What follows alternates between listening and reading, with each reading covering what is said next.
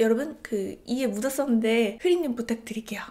안녕하세요 여러분 여러분 오늘은 요즘 쓰는 lip입니다. 아니 제가 lip에 요즘 그렇게 진심이 되더라고요. 왜냐면 그 커피 한 잔을 먹어도 제대로 한 잔 먹고 싶은 그런 마음처럼 내가 메이크업을 풀메로 그렇게 하지는 않지만 피부 메이크업에다가 립스틱 하나만 바르는데 그 lip을 아무거나 그렇게 바르고 싶지 않고 그 어딘가에 그 디테일함을 자연스럽게 딱 표현을 하고 싶은 근데 그거를 쓱 발라도 자연스럽게 표현이 되는 제품을 고이고이 이런 트레이에다 모셔가지고 논다든지 아니면 제 파우치에 소중하게 담아가지고 다닌다든지 그런 습성이 저한테 생겼어요 그래가지고 바로 요즘 쓰는 lip 출발하도록 하겠습니다. 유튜브에 요즘 쓰는 lip 출발 빵! 자, 첫 번째 lip입니다. 여러분들 이거 나올 줄 알았어 알았어 하실 거예요. 첫 번째는 톰포드의 Ultra Shine Lip Color 그 중에서도 3번 Nubile 색상입니다. 얘가 굉장히 촉촉 촉촉한 느낌이면서 입술에 녹아들듯이 발리지만 그게 너무 찐득하게 녹아드는 정도는 아니어서 질감이 전 되게 적절하다고 느껴지거든요. 질감이 얇기 때문에 저처럼 light 톤이신 분들 색감 짙으면 좀 부담스럽게 올라오시는 분들이 니트 같은 거 부드럽게 입으시고 이렇게 바르시기에 너무나 괜찮은 그런 립스틱? 은근히 차분한 느낌으로 겨울에 쓰기에 너무 좋은 괜찮은 너무 좋은 괜찮은 그런 색깔이라고 생각이 듭니다. 그리고 여기다가 또 red를 layered를 할 수가 있어요. 디올 999도 진짜 잘 쓰거든요. 이런 nudy nudy한 거 색깔 살짝 발라준 다음에 아 난 너무 입술 색깔이 없는 것 같아 하시는 분들은 red 색상 짙은 거 안쪽에다 layered 해주면은 얘가 명도 차이가 확실하게 나고 채도 차이도 확실하게 나기 때문에 layered가 진짜 진짜 편합니다. 그래서 layered 하기 전에 베이스용으로 사용을 해주기에도 톰포드 이 Nubile 색상 너무너무 괜찮아요. 그리고 파우치에서 꺼냈을 때 이런 화이트한 케이스가 튀어나오는 것도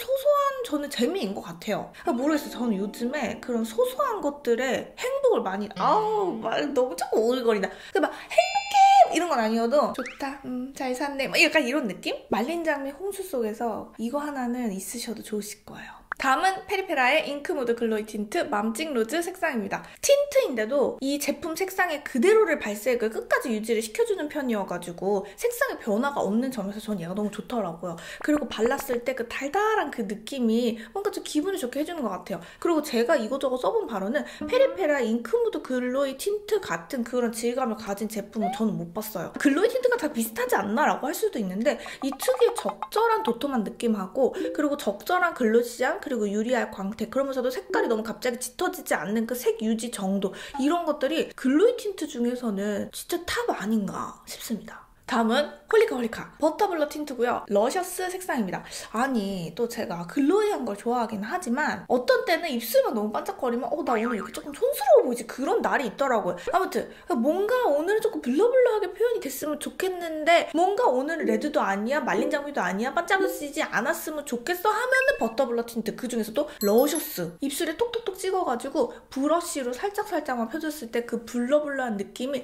입술에 밀도 있게 쫙 펼쳐지면 하면서 촥 붙는 그게 써보면 계속 가는 진짜 희한한 제품이에요. 얘가 blur 제형에 눈을 뜨게 해준 제품이라고 해도 과언이 아닙니다. 홀리카 홀리카 제품은 써봐야 진가를 알 수 있는 그런 제품이에요. 다음은 지방시입니다. 아 지방시는 제품 이름 외우기가 참 어려워. Intense Silk 이제 외운다. Intense Silk 210번입니다. Intense Silk 이 라인이 제품이 다 잘 나왔어요. 여러분들이 면세에서나 지방시 매장을 어디서 보시면은 한번 립스틱은 꼭 한번 구경해 보시기를 저는 좀 추천을 드리고 싶은데 얘가 이렇게 실물을 딱 보잖아요. 눈에 들어오는 색깔들이 있어요. 일단 말린 장미의 이런 계열의 lip들이 너무 예쁘게 잘 나와 있고요. 조금 더 deep한 색깔의 lip들도 되게 얇게 올라오기 때문에 입술에 그렇게 부담스럽지 않게 올라오거든요. 그래서 테스트 해보실 수 있으면 테스트 하는 것도 전 너무 추천드리고 싶어요. 이 210번이 막상 입술에 발랐을 때는 너무 그렇게 나이가 들어 보이지 않는 정도로 차분한 느낌의 말린 장미로 표현이 돼요. 그래서 내가 오늘은 분위기를 조금 다운시키고 싶다, 차분하고 싶다 한 날 발랐을 때 되게 얇게부터 짙게까지 표현이 돼가지고 다채로운 표현이 되는 말린 장미? 저는 그렇게 표현 좀 하고 싶거든요. 그리고 얘가 좀 하드하게 발리는 듯 하면서도 입술에 얹어진 느낌은 되게 투명감이 있는 얇은 그런 제형이어가지고 내 본연의 입술의 색깔을 좀 살려주면서 이 발색을 그대로 올려내줘요. 한마디로 두껍지가 않아요. 그리고 아마 조금 다크한 게 잘 어울리시는 분들은 이 210번 색상이 베이스 색상 정도로 역할을 할 수 있을 거예요. 저는 지금 톰포드 립이 베이스 역할을 할 수 있을 정도로 올라오잖아요. 근데 이 색깔이 베이스가 될 수도 있다는 거.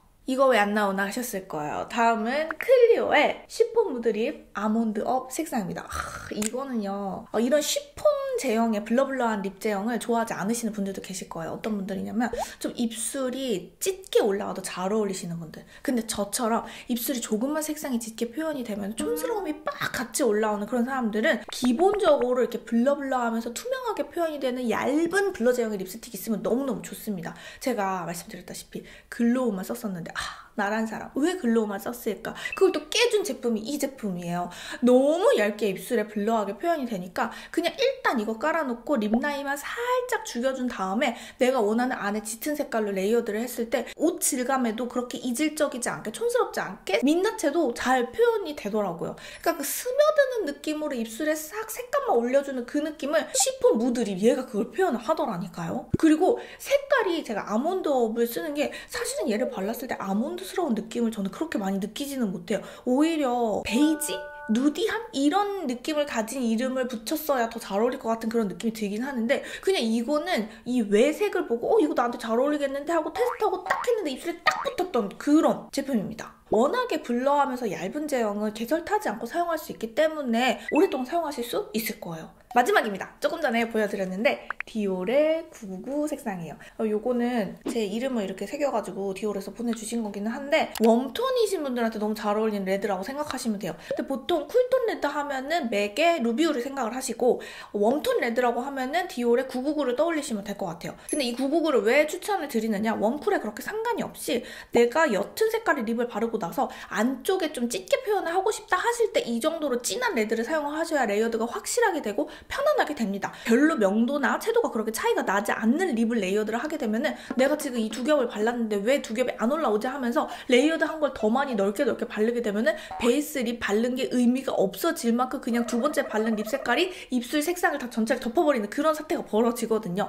그래서 여러분들이 layered를 하면서 안쪽에만 좀 빨갛게 바르고 싶으실 때 입술이 얇으신 분들은 더더욱 이렇게 엄청 빨간 색상을 발라주시는 게 훨씬 더 컨트롤하기가 쉽다는 거. 그리고 얘는 톡톡톡 두들겼을 때 느낌하고 쭉 그어서 발랐을 때하고 느낌이 다른 것도 되게 매력적인 것 같고요. 그러니까 뭐 립스틱 하나 가지고 뭐 그렇게 할 얘기가 많아라고 싶으실 수도 있는데 제가 계속 lip을 표현을 해보다 보니까요. 입술 표현 하나만 가지고도 lip 라인이 도드라지게 잘못 발랐느냐 lip 라인이 조금 blur 처리가 되게 발랐느냐 이런 거 하나하나가 이미지를 조금 더 세련되게 해주냐 아니냐에 큰 차이를 주더라고요. 이 톰포드 lip에다가 layered해도 잘 어울리고요. 클리오 시폰 무드 립 아몬드업 색상에다가 layered해도 잘 어울리고요. 버터블러 틴트에다가 layered해도 잘 어울립니다. 색상에 소화하는 정도는 사람마다 다르게 조절을 해서 사용을 하면 됩니다.